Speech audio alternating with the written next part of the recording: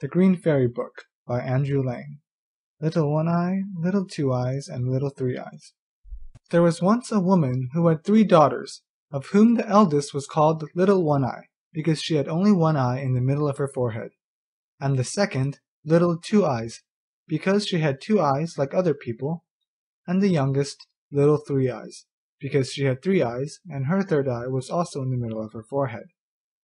But because Little Two eyes did not look any different from other children, her sisters and mother would not bear her.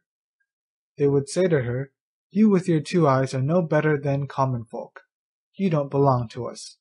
They pushed her here, and threw her wretched clothes there, and gave her to eat only what they had left, and they were as unkind to her as ever they could be. It happened one day that Little Two eyes had to go out into the fields to take care of the goat but she was still quite hungry because her sisters had given her so little to eat. So she sat down in the meadow and began to cry, and she cried so much that two little brooks ran out of her eyes. But when she looked up once in her grief, there stood a woman beside her, who asked, Little Two Eyes, what are you crying for? Little Two Eyes answered, Have I not reason to cry? Because I have two eyes like other people, my sisters and my mother cannot bear me, they push me out of one corner into another, and give me nothing to eat except what they leave. Today they have given me so little that I am still quite hungry. Then the wise woman said, Little Two Eyes, draw your eyes, and I will tell you something so that you need never be hungry again. Only say to your goat, Little goat, bleat, little table, appear, and a beautifully spread table will stand before you, with the most delicious food on it, so that you can eat as much as you want and when you have had enough, and don't want the little table any more, you only have to say, Little goat, bleat, little table, away, and then it will vanish. Then the wise woman went away. But Little Two Eyes thought, I must try it once if what she has told me is true, for I am more hungry than ever, and she said, Little goat, bleat, little table, appear, and scarcely had she uttered the words, when there stood a little table before her, covered with a white cloth, on which were arranged a plate, with a knife and a fork and a silver spoon, and the most beautiful dishes, which were smoking hot, as if they had just come out of the kitchen. Then Little Two Eyes said the shortest grace she knew, and went to work and made a good dinner. And when she had had enough, she said, as the wise woman had told her, Little goat, bleat, little table, away, and immediately the table and all that was on it disappeared again. That is a splendid way of housekeeping, thought Little Two Eyes, and she was quite happy and contented. In the evening, when she went home with her goat, she found a little earthenware dish with the food that her sisters had thrown to her, but she did not touch it. The next day she went out again with her goat, and left the few scraps which were given to her. The first and second times her sisters did not notice this, but when it happened continually they remarked it and said, Something is the matter with Little Two Eyes, for she always leaves her food now, and she used to gobble up all that was given her. She must have found another means of getting food. So in order to get at the truth, Little One Eye was told to go out with Little Two Eyes when she drove the goat to pasture, and to notice particularly what she got there, and whether anyone brought her food and drink. Now when Little Two Eyes was setting out, Little One Eye came up to her and said, I will go into the field with you, and see if you take good care of the goat, and if you drive him properly to get grass. But Little Two Eyes saw what Little One Eye had in her mind, and she drove the goat into the long grass, and said, Come, Little One Eye, we will sit down here, and I will sing you something. Little One Eye sat down, and as she was very much tired by the long walk to which she was not used to, and by the hot day, and as Little Two Eyes went on singing, Little One Eye, are you awake? Little One Eye, are you asleep? She shut her one eye and fell asleep. When Little Two Eyes saw that Little One Eye was asleep and could find out nothing, she said, Little goat, bleat, little table, appear, and sat down at her table and ate and drank as much as she wanted. Then she said again, Little goat, bleat, little table, away, and in the twinkling of an eye all had vanished. Little Two Eyes then woke Little One Eye and said, Little One Eye, you meant to watch, and instead you went to sleep. In the meantime the goat might have gone far and wide. Come, we will go home.' So they went home, and Little Two eyes again left her little dish untouched, and Little One eye could not tell her mother why she would not eat, and said as an excuse, 'I was so sleepy out of doors.'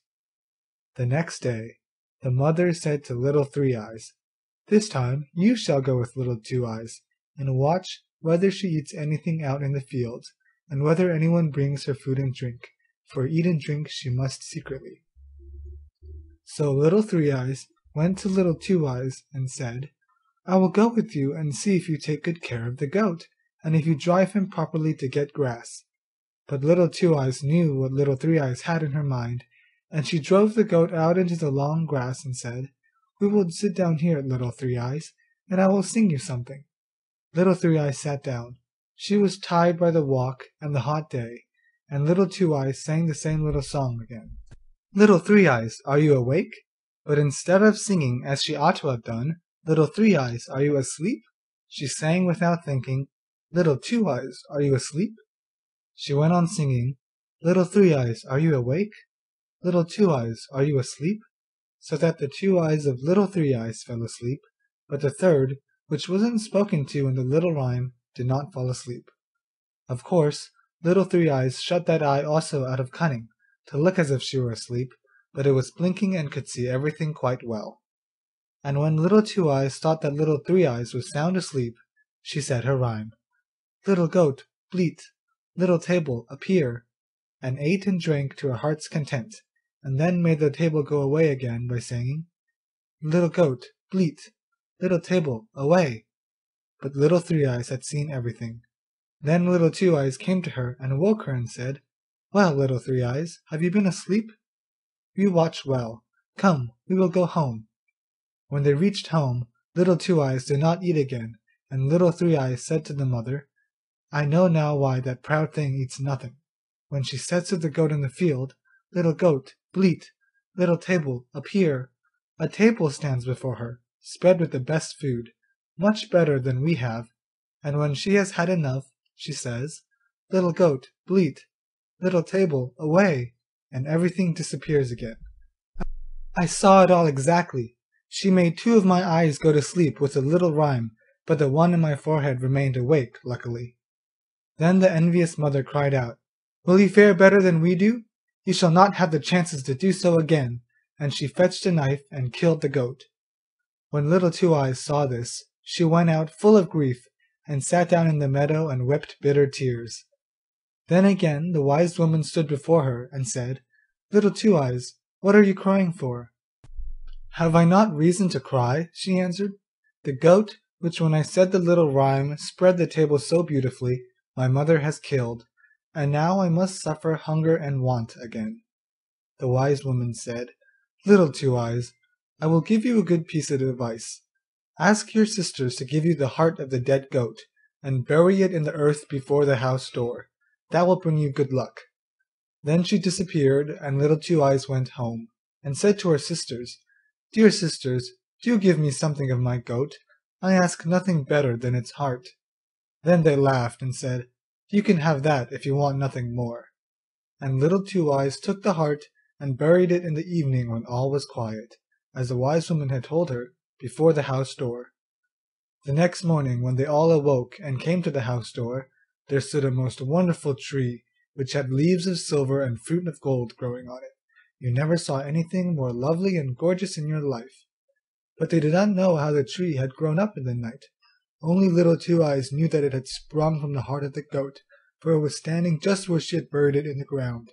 Then the mother said to Little One eye, "Climb up, my child, and break us off the fruit from the tree."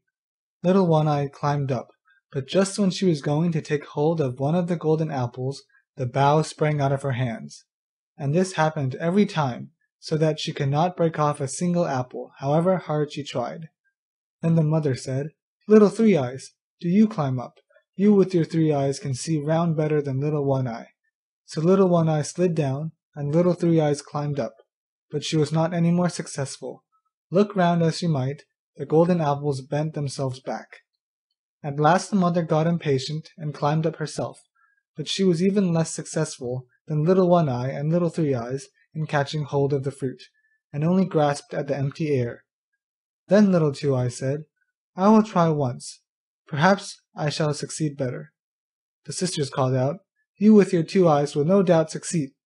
But Little Two eyes climbed up, and the golden apples did not jump away from her, but behaved quite properly, so that she could pluck them off, one after the other, and brought a whole apronful down with her.